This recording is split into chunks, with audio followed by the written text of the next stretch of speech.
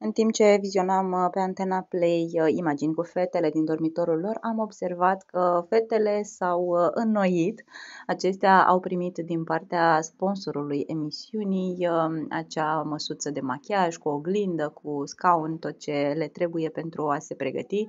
Dar este doar una, probabil e una și în camera cealaltă, încă nu am văzut imagini de acolo. Au fost uh, multe zvonuri uh, și în media, în uh, social media despre această modificare a sponsorului din acest sezon. Știți că până acum de ceva sezoane încoace a fost uh, Splendor, iar acum este Oriflame.